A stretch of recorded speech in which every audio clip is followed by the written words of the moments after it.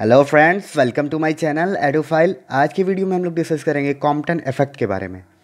तो Compton effect क्या होता है, इसको हम लोग डिस्कस करेंगे और पहले फोटोन्स पे क्लासिकल अप्रोच क्या था, इसको भी डिस्कस करेंगे।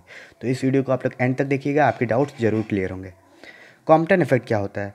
जब कोई फोटोन जब कोई फोटोन हम कह सकते हैं रेडिएशन जब कोई रेडिएशन बहुत ही हाई फ्रीक्वेंसी की, जैसे कि हाई फ्रीक्वेंसी की क्या होती है एक्सरे होती है गामा रे होती है, ये सब हाई फ्रीक्वेंसी की रेडिएशन होती है।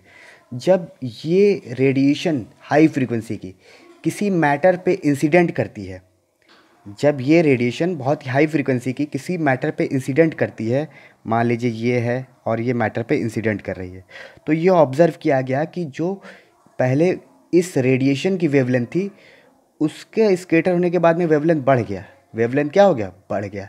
ये देखिए, पहले वेवलेंथ छोटी थी यहाँ पे, स्कैटर होने के बाद वेवलेंथ बढ़ गया। तो इसी को कहा जाता है कॉम्पटन इफ़ेक्ट। क्या कहा जाता है? Compton effect.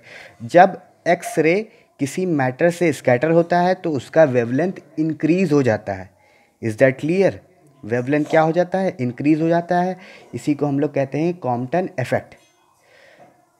अब हम लोग जानेंगे पहले क्लासिकल अप्रोच क्या होता था।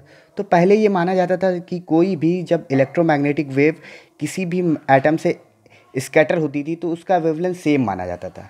इज़ दैट क्लियर लेकिन बाद में ए एच कॉम्पटन जो कि एक फिजिसिस्ट थे, उन्होंने एक्सपेरिमेंट किया। उन्होंने बताया, ऐसा नहीं होता है। तो चलिए हम एक्सपेरिमेंट करते हैं और इसको और डीपली समझते हैं। यहाँ पे मैंने एक एक्सरे लिया। आप कह सकते हैं कोई रेडिएशन जिसकी हाई फ्रिक्वेंसी है, वो मैंने लिया एक्सरे तो यहाँ पे एक्सरे लिया।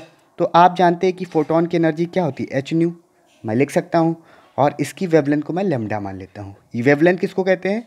द कॉन्जिक्यूटिव दो कॉन्जिक्यूटिव क्रेस्ट या ट्रफ की डिस्टेंस जो होती है, उसको हम लोग क्या कहते हैं? वेवलेंथ तो ये लेमडा इसकी वेवलेंथ है।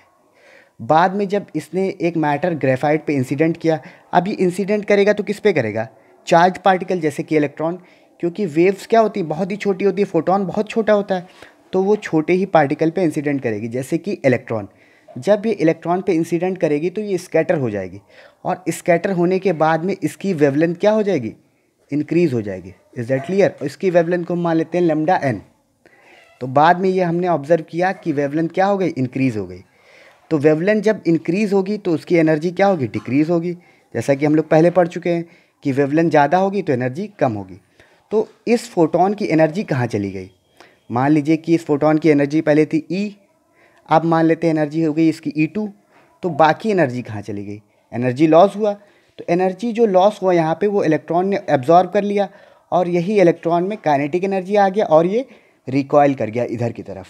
इज़ दैट क्लियर तो इसके एनर्जी को हम लोग मान लेते हैं एम और सी स्क्वायर तो ये है हमारा कॉम्पटन इफ़ेक्ट एक बार मैं डिफिनेशन पढ़ना चाहूँगा। Compton effect describes the scattering of a photon Compton effect क्या करता है? स्कैटरिंग ऑफ़ ए फोटोन को डिस्क्राइब करता है, जैसे कि एक्स रेस गामा रेस मैंने आपको पहले ही बताया यहाँ पे। By a charge particle charge particle मतलब ग्रेफाइट के अंदर क्या है? इलेक्ट्रॉन्स है। उसी पे डिफाइन करेगा। It result in a decrease in energy जिससे क्या होता है? एनर्जी डिक्रीज होती है। यहाँ पे एनर्जी ज़्यादा थी, क्योंकि वेवलेंथ कम थी। तो इसीलिए यहाँ पे एनर्जी ज़्यादा थी। बाद में स्कैटरिंग होने के बाद एनर्जी क्या हो गई? डिक्रीज हो गई। In energy and increase in wavelength of the photon और वेवलेंथ क्या हो गया? इंक्रीज हो गया। कॉल्ड द कॉम्पटन इफ़ेक्ट इसको हम लोग क्या कहते हैं? कॉम्पटन इफ़ेक्ट और जो यहाँ पे एनर्जी क्या हो गई? कम हो गई। वो एनर्जी कहाँ शिफ्ट हो गई? रिकॉयल इलेक्ट्रॉन में। अगले वीडियो में हम लोग इसके डेरिवेशन पे डिस्कस करेंगे। वीडियो देखने के लिए thank you thank you so much